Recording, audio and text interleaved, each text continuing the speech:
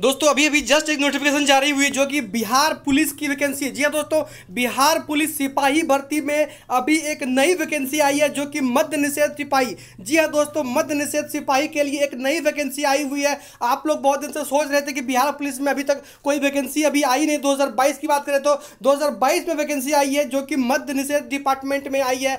आप इसके सीधे नोटिफिकेशन को पूरा का पूरा हमारे इस वीडियो से प्राप्त कर सकते हैं कि कितने क्वालिफिकेशन कितने हाइट किस, कितना फ़िज़िकल कितना पेमेंट और कब से कब तक इसका फॉर्म अप्लाई इस सब के बारे में इस वीडियो से आप प्राप्त कर सकते हैं। सारी इन्फॉर्मेशन यदि आपको पूरी की पूरी वीडियो चाहिए देखने के लिए तो आप लास्ट तक इसको ज़रूर देखिए। देखिए, अभी हम इसके वेबसाइट के ऊपर से एक नोटिफिकेशन जो कि पीडीएफ फॉर्म में है, इसको डाउनलोड किए हैं और इसके ऊपर कंप्लीट चर्चा करने वाले हैं। यदि आप बिहार पुलिस में भर्ती चाहिए, बिहार पुलिस के जॉब आपको चाहिए तो ये वीडियो बिल्कुल आपके लिए है और आपके सपोर्ट में रहने वाला ये वीडियो है। क्योंकि देखिए, इसका वेबसाइट सबसे पहले इसका वेबसाइट आपको बता दें। देखिए C S B C dot B I H dot N I C dot in ये इसका वेबसाइट है।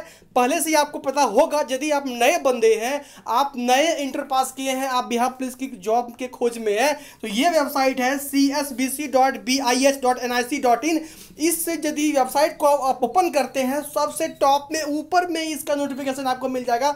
वहाँ पे आपको क्लिक करके इसको डाउनलोड कर लेना है, पढ़ना है, समझना है। लेकिन यदि हमारे इस वीडियो को आप देखते हैं पूरा तो आपको पढ़ने की ज़रूरत पड़ती नहीं है। देखिए इसकी जो जो अंतिम तिथि यहाँ पर क्या लिखा हुआ है? डेट लाइन से शुरू करते हैं हम लोग सबसे पहले डेट लाइन कि क्या है इसका अंतिम डेट? तो ऑनलाइन आवेदन पत्र प्राप्ति की अंतिम तिथि, लास्ट डेट तेरह नौ दो हज़ार बाईस। यानी कि तेरह सितंबर 2022 को इसका अंतिम दिन रखा गया है। इसके बाद इसका अप्लीकेशन बंद हो जाएगा अप्लाई आप नहीं कर पाएँगे। यदि आपको इसके वैकेंसी को भरना है तो आप तेरह नौ, यानी कि तेरह सेप्टेम्बर के अंदर ही भर लेंगे। विज्ञापन संख्या की बात करते एक 2022 कहने का मतलब 2022 का ये पहला फॉर्म है, आप लोग वेट कर रहे थे कमेंट से भी पूछते थे, या फिर आप अमुक अमुक के माध्यम से हमको क्वेश्चन आता था, लेकिन इसका जवाब आज हम आपको दे देते हैं वैकेंसी तो आई आप इसको पूरा का पूरा समझिए वेट आपका खत्म। अब बात करते हैं कुछ और की। क्या है वह बात? मध्य निषेध उत्पाद एवं निबंधन विभाग में मध्य निषेध सिपाही पद लेवल थ्री का ये जॉब है। इक्कीस हज़ार सात सौ से तिरपन हज़ार का इसका पेमेंट होने वाला है और रिक्तियों की संख्या क्या है? छिहत्तर। ये बड़ी दुख की बात है कि सीट यानी कि सबसे पहले यदि हम बिहारी सोचते हैं कि सीट कितना है ये पहला बात तो सीट यहाँ सेवेंटी सिक्स है, छिहत्तर मात्र है। लगता है कि लोग होलसेल करेंगे सीट का। यदि सीट लंबा रहता है तो लोग पूरा खुश, सीट थोड़ा कम होता है तो मूड थोड़ा डाउन हो जाता है। तो यहाँ पर सेवेंटी सिक्स के लिए, छिहत्तर सीट के लिए यहाँ पे आवेदन लिए जाएँगे। सैलरी तो धांसू है, खतरनाक है, कोई दिक्कत नहीं है। सैलरी आपका यहाँ पर तीस पैंतीस हज़ार के आसपास मिल जाने वाला है। अब यहाँ पर क्या हम लोग समझ लेते हैं कि आपको कि तेरह आठ से ये प्रारंभ होगी। क्या है? ऑनलाइन आवेदन प्रारंभ करने की प्रक्रिया क्या है? तेरह आठ दो हज़ार बाईस। तेरह अगस्त से लेकर के तेरह सितंबर तक भर सकते हैं। एक माह का पूर्ण समय आपको बोर्ड दी है। तेरह अगस्त से तेरह आठ नौ, यानी कि तेरह सितंबर तक इसके फॉर्म को आप फिल कर सकते हैं ऑनलाइन के माध्यम से। यानी कि इसके फॉर्म को आप कैफ़े में या फिर खुद से कंप्यूटर या फिर मोबाइल से आप इसके फॉर्म को भर पाएँगे। और भी जो जानने वाली बड़ी बड़ी बात है, वो आपको इसमें हम बताएँगे। देखिए बताने के लिए इसमें चौदह पेज, यानी कि फोर्टीन पेज का ये पीडीएफ है नोटिफिकेशन है। सब कुछ पढ़ेंगे तो शायद शाम तक हो जाएगा, लेकिन इतना लंबा समय हम देने वाले नहीं है, क्योंकि जो जो मेन कंटेंट आपको जानना ज़रूरी क्वालिफिकेशन एलिजिबिलिटी इसके बारे में चर्चा हमने बढ़िया से करी ताकि आपको कंटेंट समझ आए, आप इसके लिए एलिजिबल है कि नहीं, सब चीज़ के बारे में आपको समझाते। हैं देखिए, यहाँ पर क्या लिखा हुआ है? सबसे बड़ी बात मध्य निषेध सिपाही के पद पर नियुक्ति हेतु आवेदन के लिए पात्रता। पात्रता मतलब एलिजिबिलिटी आप एलिजिबल है या नहीं है, इसके लिए आप इस वीडियो को देखें, क्या है? नागरिकता। इंडियन होना अनिवार्य है। पुरुष, महिला एवं थर्ड जेंडर आवेदन कर सकते हैं। इसमें पुरुष, महिला थर्ड जेंडर कहने का मतलब समझ रहे होंगे, सब अप्लाई कर सकते हैं और इंडियन होना अनिवार्य है। इंडिया के बाहर के लोग इसके फॉर्म को फिल नहीं कर पाएँगे। अभ्यर्थियों की शैक्षणिक योग्यता क्या होनी चाहिए? तो मध्य निषेध सिपाही के पद के लिए शैक्षणिक योग्य जो अर्हता है, वो एक एक दो यानी एक जनवरी दो हज़ार बाईस तक इंटरमीडिएट का यदि कोर्स पूरा कर लिए हैं तो इस फॉर्म को भर सकते हैं। तो यहाँ इस वर्ष जो 2022 में बच्चा इंटर पास किया है, उसके लिए दुख भरी बात है, क्योंकि वो इस फॉर्म को नहीं भर पाएँगे, क्योंकि खास करके बिहार के किसी भी बोर्ड की बात करें तो उसका रिज़ल्ट मार्च, अप्रैल, मई, जून तक आया है। तो यहाँ पर कहा जा रहा है कि आप जनवरी में ही पास यदि हैं तो भर सकते हैं। तो उनका तो छूटेगा तो उनके लिए तो प्रॉब्लम है। तो दुख नहीं मारिए मेरे दोस्त, बहुत सारी वैकेंसी आती है। आप हमारे सब्सक्राइबर है तो खोज खोज के आपको देना हमारा ये मैटर बनता है कि भैया आपको हम खोज खोज के नोटिफिकेशन आपके तक पहुंचाते रहे कि भैया कौन कौन सी वैकेंसी आई है। जब भी आपके लाइक होगी तो हमारे यूट्यूब से तो मिलती रहेगी। कोई चिंता करने वाली बात नहीं है, ये छूट गया छूट गया, छिहत्तर तो मात्र सीट है इसमें। चलिए, और क्या है इसमें? कि इसमें यदि आप जाते तो कौन कौन से बोर्ड? तो बोर्ड में कोई दिक्कत नहीं कि बिहार बोर्ड, बिहार बीएससी भी करें आपकी मदरसा बोर्ड से करें, या फिर संस्कृत बोर्ड से करें, आचार्य, जो भी चीज़ें, सबके बच्चे इसके फॉर्म को भर सकते हैं। कोई बड़ी समस्या नहीं है कि ऐसा नहीं कि आप एन से हैं, मध्यमा से हैं, मौलवी फगनिया किए हैं तो आप नहीं जा सकते। ऐसा कुछ नहीं है। सभी के लिए इस फॉर्म को भरना कोई दिक्कत नहीं, सब भर सकते हैं। अब यहाँ पर एज की बात हम लोग करें, एज सबसे बड़ी बात है। एक एक 2022 को मैट्रिक अथवा समकक्ष प्रमाण पत्र के अनुसार, कहने का मतलब कि एक जनवरी 2022 तक जो आपका एज है, वो 18 वर्ष तो सब में है 18 तो न्यूनतम होना ही है, और अधिकतम 25 वर्ष रखा गया है। अब है ई कि जनरल के लिए, यानी कि अनारक्षित के पुरुष और महिला के लिए 25 वर्ष रखा गया है। पिछड़ा वर्ग एवं अत्यंत पिछड़ा वर्ग, यानी कि B C one B C two के पुरुष कैटेगरी के लिए आपको रखा गया है सत्ताईस, यानी कि दो साल छूट मिलेगा। पिछड़ा वर्ग एवं अत्यंत पिछड़ा वर्ग कोटि के महिलाओं के लिए 18 से 28 तीन साल छूट मिलेगा उसको। यानी क्या है? बी सी वन और बी सी टू के जो पुरुष है, उसको दो साल का छूट मिल रहा है एज में। और B C one B C two की जो महिला है, उसको तीन साल का छूट मिल रहा है एज में। यहाँ पर ध्यान दीजिएगा, यदि आप पुरुष महिला में अलग अलग बात करें, एक साल ज़्यादा महिलाओं को मिल रहा है। अब बात करें हम लोग अनुसूचित जाति, जनजाति की, यानी कि एससी और एसटी भाई बंधु के लिए जो एज की बात हम लोग करें तो वो क्या रखा गया है? तो उसको तो छूट मिलता ही है। देखिए, क्या है? 18 से 30 वर्ष, यानी कि पाँच साल का कंप्लीट छूट उसको मिल रहा है। वो तो फॉर्मेट सब दिन से है कि तीन साल और दो साल का। तो यहाँ पर क्या किया गया है? B C one B C two लड़का को एक साल और कम कर दिया गया है। दो ही साल का छूट है, महिला को तीन साल का छूट है, लेकिन पुरुष को दो ही साल का छूट है। लेकिन यहाँ पर एस सी जो भाई बंधु है, चाहे महिला हो या पुरुष है, उसको पूरा का पूरा पाँच साल का छूट है। तीस वर्ष तक के एज के लोग उसको भर सकते हैं। जो बिहार के वैसे सरकारी सेवक, जो उच्चतर वेतनमान की सेवा संवर्ग में जाने के लिए प्रतियोगिता परीक्षाओं में भाग देना हेतु अधिकतम आयु पाँच वर्ष। अरे बाप रे, यानी कहने का मतलब जो जो अपडेट होना चाहते हैं प्रमोशन लेना चाहते हैं, वो भी इसके फॉर्म को भरेंगे। यानी भीड़ भाड़ तो अच्छा खासा होने वाला है। अब इसके अलावा और भी जो चीज़ है, उसको भी समझते हैं हम लोग, क्या है? अभ्यर्थियों का शारीरिक मापदंड, यानी कि जो भी कैंडिडेट है, उसका फ़िज़िकल मापदंड क्या होना चाहिए? वो क्या? ऊंचाई। जैसे कि क्या है? ऊंचाई। उससे पहले एक चीज़ों को नोट पढ़ते हैं तो क्या लिखा हुआ है?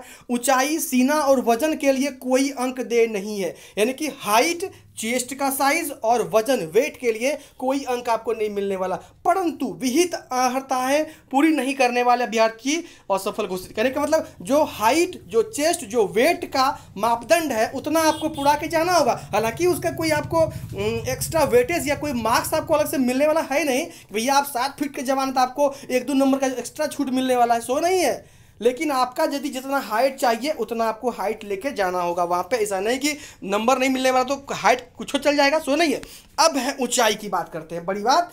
ऊंचाई जनरल एवं, यानी कि अनारक्षित एवं पिछड़ा वर्ग के पुरुष के लिए। जनरल और बी सी टू के जो पुरुष हैं मेल पर्सन तो मेल पर्सन के लिए एक सौ पैंसठ सेंटीमीटर अब अत्यंत पिछड़ा वर्ग के पुरुष, यानी कि ईबीसी e यानी कि बीसी वन के जो पुरुष हैं, उसके लिए 160 सीधे पाँच सेंटीमीटर कम कर दिया गया है। देखिए, बड़ी नाइंसाफी है। उसके बाद क्या है? तीन नंबर में अनुसूचित जाति एवं जनजाति के पुरुष के लिए 160 यानी कि बी सी वन को यहाँ पर एस सी एस टी के बराबर कर दिया गया है। मेरा माने तो ये भी थोड़ा अल्टर दिख रहा है। मेरे दोस्त होना नहीं चाहिए। थोड़ा बहुत तो कम कर दो चलता। या फिर पाँच पाँच सेंटीमीटर कर, कम कर दिया है। बहुत सारे बंदे आ भी जाएँगे। यदि बी सी टू आपका भी तो भाई है भैया उसको भी ले लेते थे कम से कम। उसमें तो बहुत सारे विद्यार्थी इसमें घुस जाते। चलिए कोई बात नहीं वो तो बात की बात है। हम लोग जानते हैं उसके बारे में। यहाँ पर एस सी एस टी की बात करें तो एक सौ साठ सेंटीमीटर आपका न्यूनतम होना चाहिए। हाइट उससे नीचे वाले के लिए चलेगा नहीं। सभी वर्ग की महिला यानी कि किसी भी कैटेगरी की महिला हो general E W S B C one B C two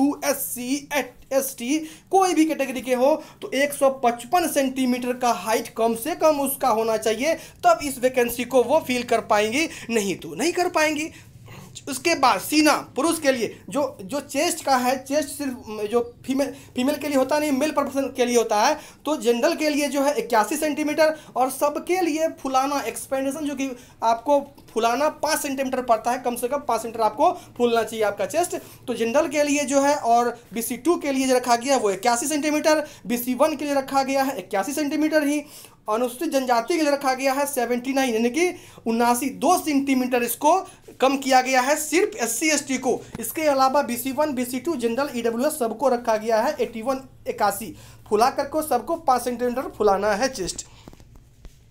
महिलाओं के लिए सीना नहीं नापी जाएगी। देखिए, स्पष्ट रूप से लिखा हुआ, महिलाओं के लिए सीना की मापी नहीं होगी। वज़न की बात करें, सभी वर्गों की महिलाओं, उम्मीदवारों के लिए न्यूनतम 48 किलोग्राम होना आवश्यक है। महिला, यदि कैंडिडेट आप हैं, आपका वेट 48 किलोमीटर, कम से, सॉरी किलोमीटर बोलते हैं 48 केजी आपका होना चाहिए। 48 केजी यदि नहीं है 48 किलो नहीं है तो इस फॉर्म को आप नहीं भर पाएँगे, या भर दीजिए ना, उस समय तक खा पी के मोटे हो जाएँगे, जब तक तो फ़िज़िकल होगा तो वो आपका चलेगा, लेकिन उस समय में आपका बिल्कुल मेंटेन होना चाहिए। यदि आपका अभी अड़तालीस से प्लस उनचास, पचास है, उस समय बीमार पड़ जाते हैं और आपका हाइट वेट कम जाता है तो भी आपको वहाँ से भगाया जाएगा। तो आप इन चीज़ों का ध्यान रखेंगे, आपका वेट मेंटेन रहे।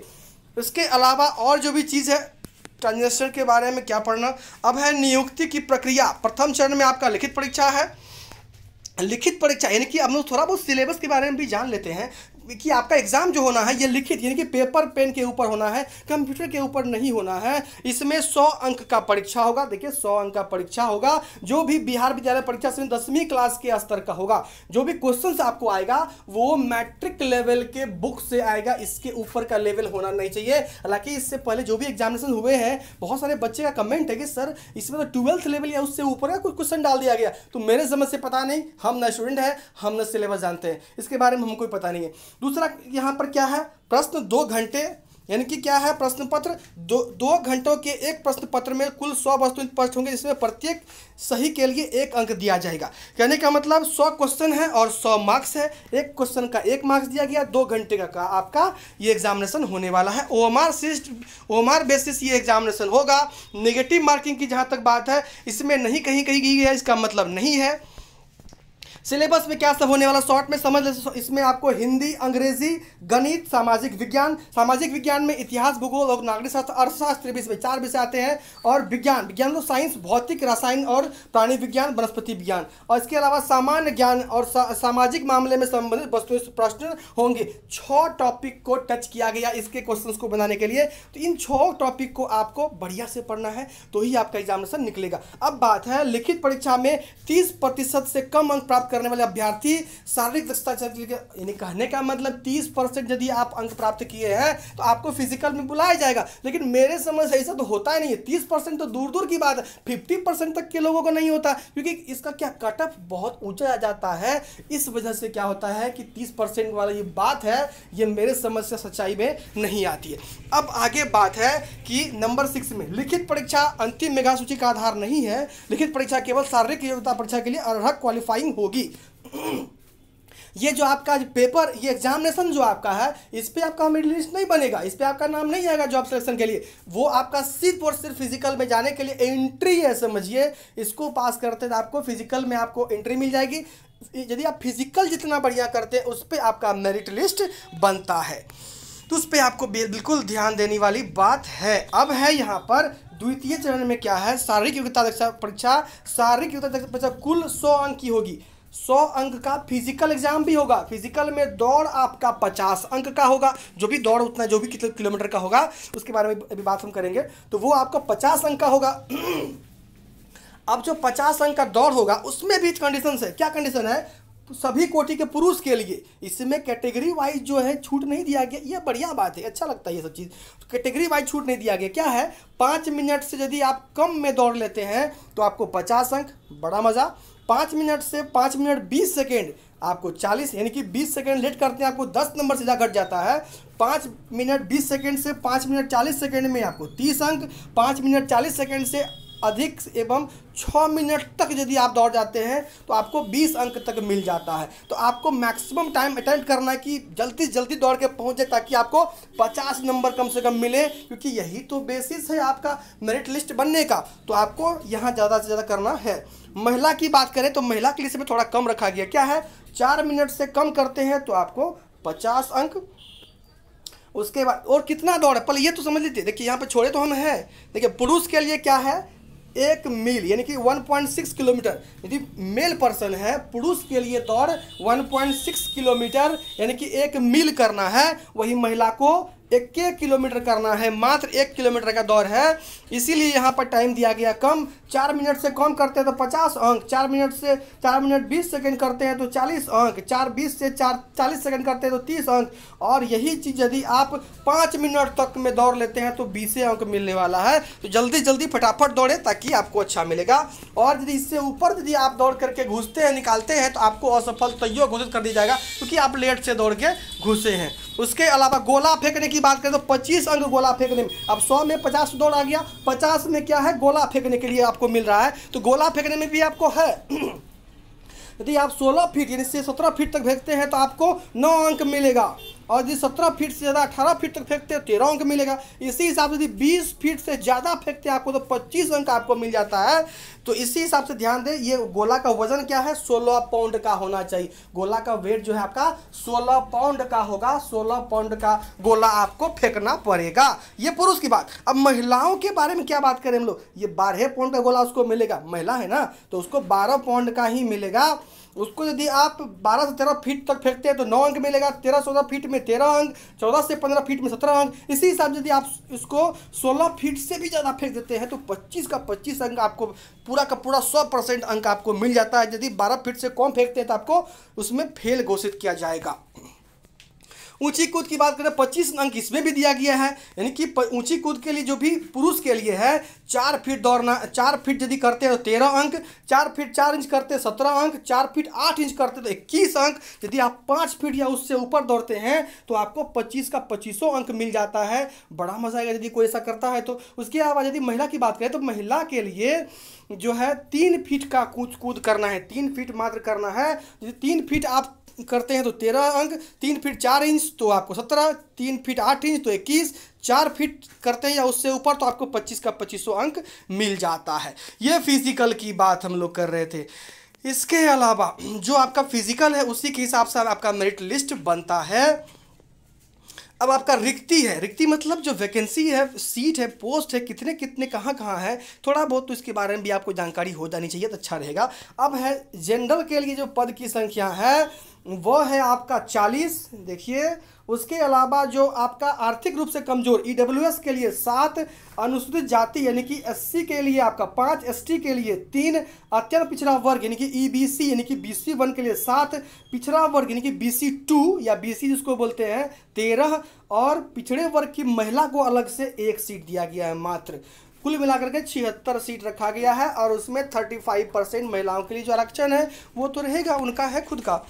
इसी हिसाब से आपको सीट की बात इसमें कही गई। आरक्षण का दावा जो नियम है बिहार सरकार का, उसी हिसाब से होना ही होना रहेगा, जो भी प्रावधान है।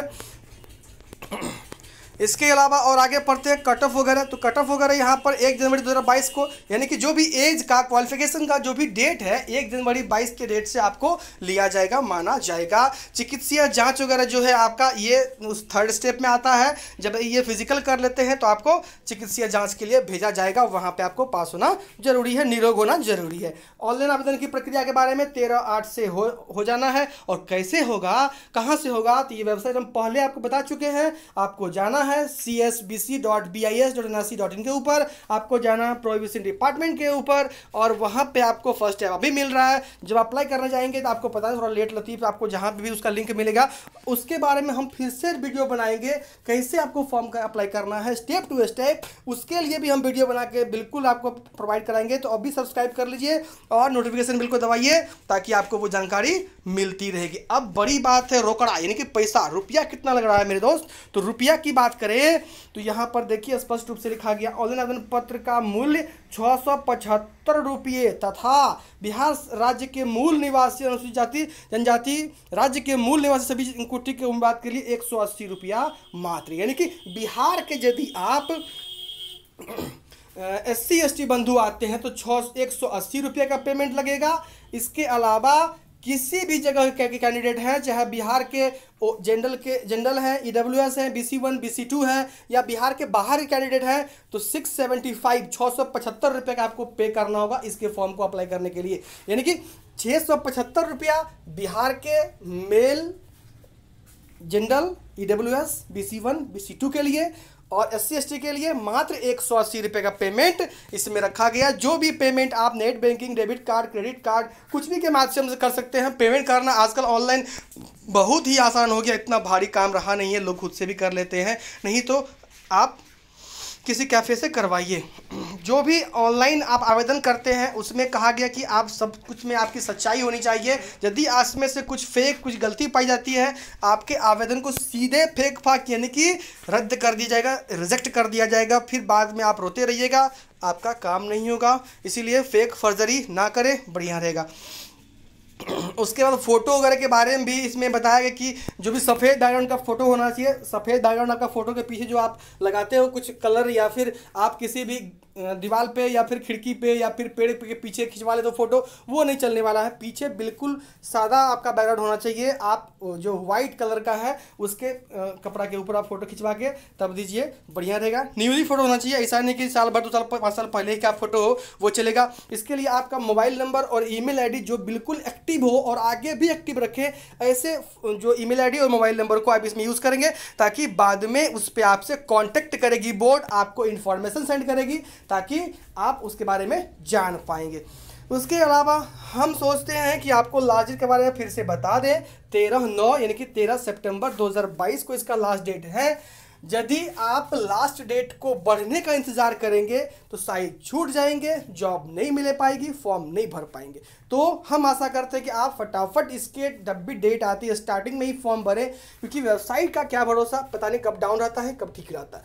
तो इसके बारे में, उसके बाद क्या लिखा हुआ? उम्मीदवार रद्द करने के बारे में एक डायलॉग पढ़ लेते हैं। आवेदक की जिम्मेवारी किसी भी समय निम्नलिखित आधार पर बिना कारण बताए रद्द कर दी जा सकती है। आवेदन पत्र का प्रथम भाग, पंजीकरण भरा जाना, परंतु द्वितीय भाग को भरकर सबमिट ना करना। यदि कोई रजिस्ट्रेशन करके छोड़ देता है, अगले, आगे नहीं जाता है उसके जो फॉर्म है रिजेक्ट कर दिया जाएगा। या फ़ोटो सिग्नेचर अपलोड नहीं करते हैं तो भी रिजेक्ट कर दिया जाएगा। यदि आप पेमेंट नहीं करते हैं तो भी रिजेक्ट कर दिया जाएगा। या फिर गलत आप सूचना उसमें भरते हैं तो भी रिजेक्ट कर दिया जाएगा। बहुत सारे वजह इसको आप पढ़ लीजिए, समझ में आ जाए कि इतना लंबा हम तो पढ़ने वाले हैं नहीं, क्योंकि मेरा समय अच्छा खासा हो चुका है। अब आपको, आपसे विदा लेने का टाइम हो गया। दोस्तों, यदि ये अच्छा लगा आपको ये वीडियो ये हम जो बनाते हैं, आपको लिए क्या काम आती है कि नहीं आती है, मुझे ज़रूर कमेंट करें। क्योंकि कमेंट करने के बाद मुझे संतुष्टि होती है। हम जो काम कर रहे हैं, आप लोग चिल्ला रहे इतना तो वो हमारा कहीं ना कहीं यूज़ में आ रहा है। आपको फ़ायदा हो रहा है। नहीं तो फ़ायदा यदि नहीं हो तो बक बक करने से फ़ायदा क्या मेरे दोस्त? नहीं करेंगे, छोड़ देंगे ये काम हम। तो मुझे कमेंट ज़रूर करिए। अच्छा लगा, बुरा लगा, गलती बोलते हैं, सही बोलते हैं, समझाने का तरीका कैसा है, सबके बारे में ज़रूर मुझे कमेंट करिए। मुझे जो है इसके बारे में संतुष्टि मिलती कि मेरे दोस्त अच्छा सब्सक्राइबर मेरे पास है। दोस्तों, आशा करता हूँ कि ये वीडियो आपके लिए अच्छा हुआ है। यदि लगा अच्छा तो दूसरे के साथ भी शेयर करिए ताकि वो भी इसको जान करके जो है जान पाएँगे इस चीज़ों को। धन्यवाद।